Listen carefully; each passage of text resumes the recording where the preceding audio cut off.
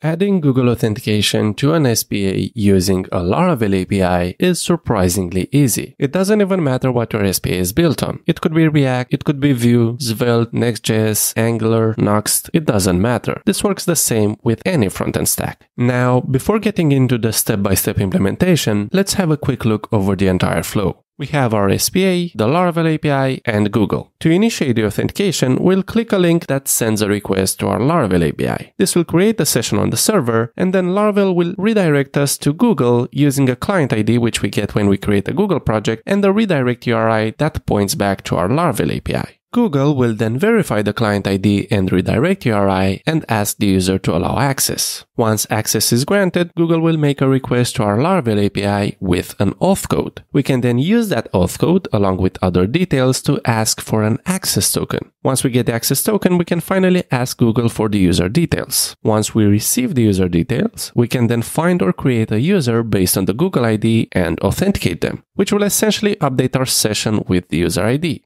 From now on, every subsequent request sent from the SPA will have a session ID pointing to a session that has an associated user, aka we are logged in. Now, before we start, I am assuming you have Laravel Sanctum properly configured and that you have a way to fetch the user before rendering the page. These are like our preconditions.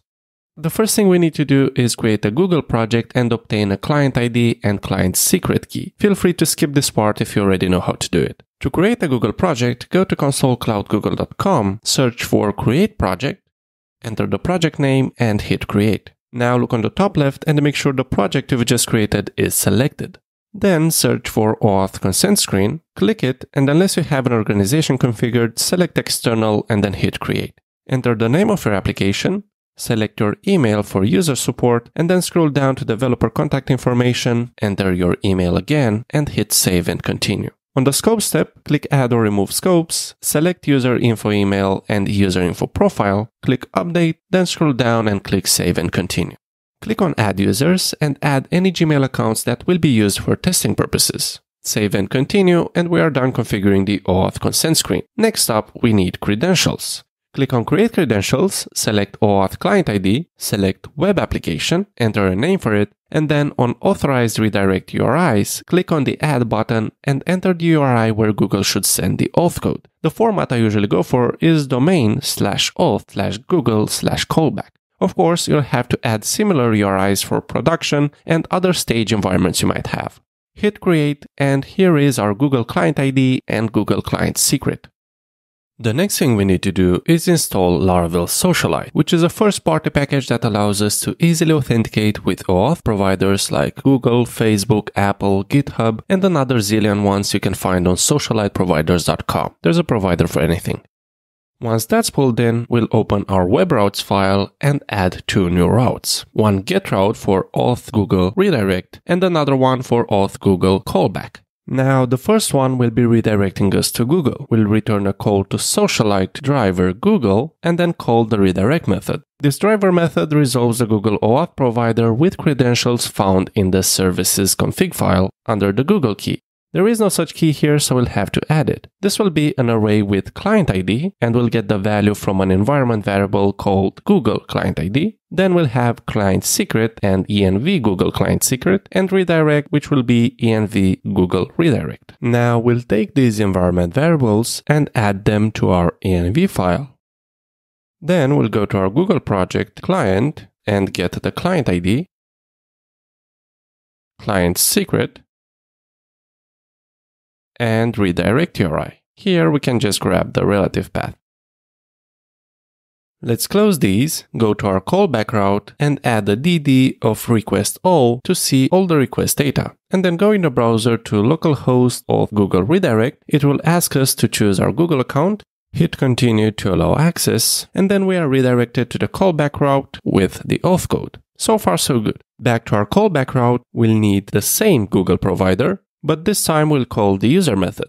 Behind the scenes, this user method will make two requests, one to fetch an access token using the auth code and another one to fetch the user details using the access token we received. Let's again go to localhost of Google Redirect, grant access.